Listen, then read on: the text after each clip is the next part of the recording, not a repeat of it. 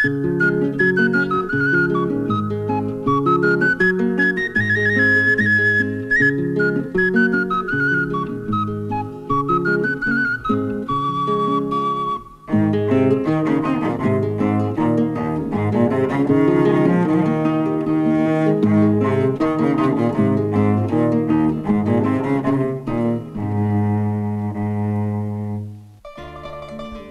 volt, hol nem volt, volt egyszer egy szegény ember, és annak három fia.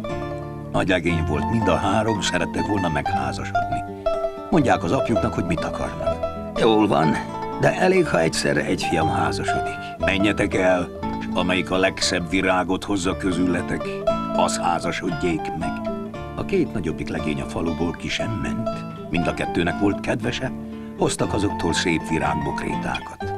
Hanem a legkisebbiknek nem volt senkije, semmije, az elment a faluból, és ment nagy búsan hegyeken, völgyeken át.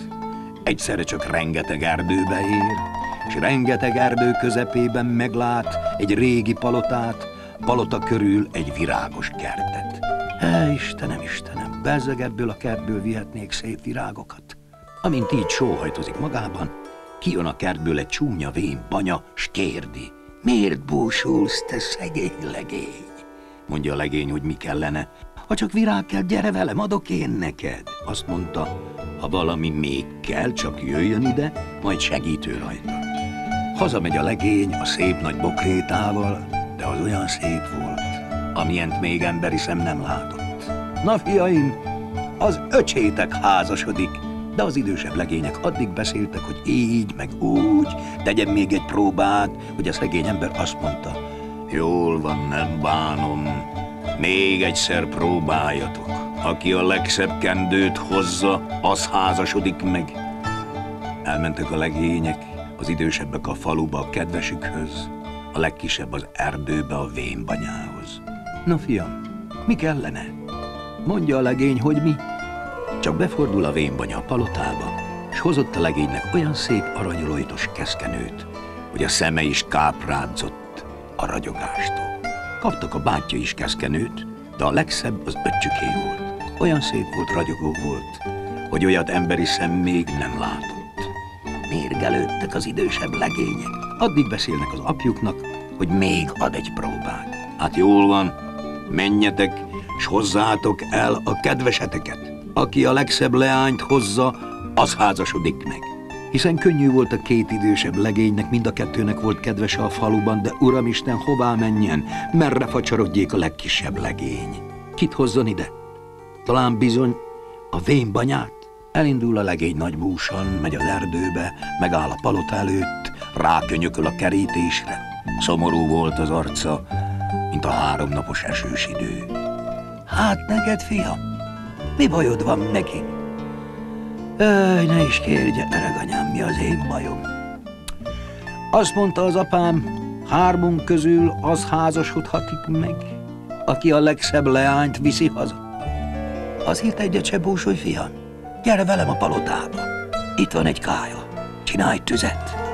A hány láng kicsap a kájhából, annyi boszorkány ugrik ki belőle, de te meg ne ijedj, csak állj meg bátran a kája előtt. A legutolsónak és a legcsúnyábbnak egy csomó kulcs van a szájában.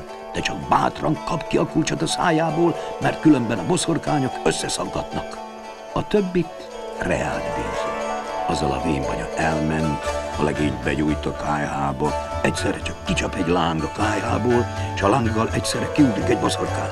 Kicsap a második láng, azzal a második boszorkány, és ugrottak ki egymás után a boszorkányok, hogy szerük számuk nem volt. Kiugrik az utolsó is, amelyiknek egy csomó kulcs van a szájában. Neki bátorodik a legény, odakap, kirántja a kulcsot a boszorkány szájából, és én halljatok csodát. A vén banyából egy szépséges szép leány lett. Nézi, nézi a legény, szeme szája tátva marad a nagy csodálkozástól. A sok boszorkány mind eltűnik a szobából, s jönnek helyettük szép belső leányok, inasok, s mindenféle udvarbéli emberek. Ugye csodálkozol, te legény?